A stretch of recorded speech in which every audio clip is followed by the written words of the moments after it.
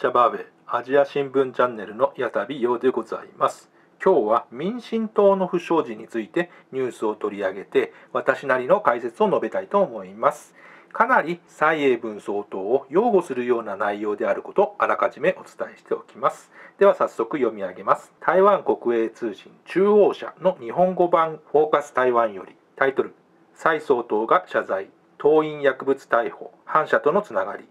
与党民進党の党首を務める蔡英文総統は5日、台北市内の党本部で談話を発表した。党員が違法薬物販売の疑いで逮捕され、反社会的勢力とのつながりも指摘されていることについて、入党の選別が徹底されておらず、不適格な人物を入党させてしまったとして、非常に申し訳ないと謝罪した。蔡氏は政府は今後も反社会的勢力や違法薬物の取り締まりを強化していくとした入党の資格や審査の制度を見直すよう党幹部に指示したとも述べた。先月下旬台北市東部所属の党員が違法薬物の販売容疑などで逮捕された。父親も党員で台北市東部の評議委員会収集人を務めていたが息子の報道を受け辞任。同党は今月1日息子の除籍を決めた。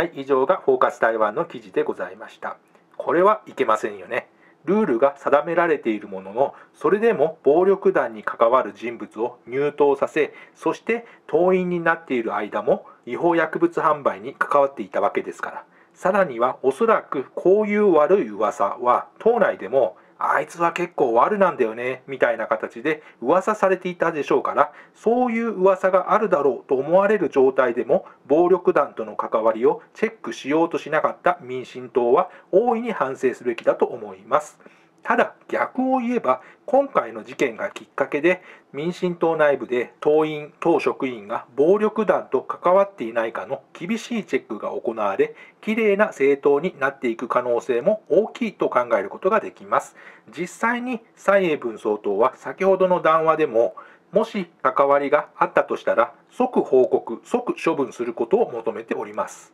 また案の定中共寄りの中国時報や国民党寄りの連合法はこの不祥事に関して蔡英文総統やめろ的な主張をし始めております。ただ責任を取ってやめろとすぐに口にする人がいますが私は今回の不祥事に関しては蔡英文総統は総統職はおろか党主席も辞める必要はないと思います。もし蔡英文総統が違法薬物販売の不祥事に関わっていたのであればそれはやめるべきだと思うのですが党員21万人と言われるうちの末端の党員1人が起こした不祥事及び党のルールが厳格に実施されていなかったことだけを理由にやめなければならないというのはいささか行き過ぎた主張だと感じております。むしろ蔡英文総統はこの不祥事を受けて党としてどう対応していくかを評価していくべきであり今後もしかしたらさらに暴力団と関わりのある党員がもっと出てくるかもしれませんがそれは党員のチェックを厳しく行っているということの表れでありバッシングの対象にしてはいけないと考えるわけであります。しかもですね台湾最大野党の中国国民党はどうなんでしょうかという声も上がり始めております。国民党といえば戦後数十年間も独裁政治を行いまた闇組織との関わりも強かった政党であり身内には甘い対応しかしないという過去の行いもあるわけでございます。そんなわけで民進党と支持者たちは現在もし民進党のルールを国民党に適用させたら国民党の現職の地方議員でルール違反となる人がたくさんいるということを指摘しております。まさにお前が言うなよ状態ですよね。ちなみに話はそれてしまうのですが、私はツイッターなどで国民党のずさんな体制を揶揄してゴミ丼ということがありますが、これは台湾語で国民党を発音すると、コッビンドンとなり、ちょっと早口で言うとゴミ丼に聞こえるためであります。ちょっと無理やりですかね。いずれにしても多くの民進党を支持している台湾人にとってこのゴミ丼政党はがんであると考えられているのはご想像に難くないと思います。政治というものは知れば知るほど興味深くなるものだということをこの年になって感じるようになりました。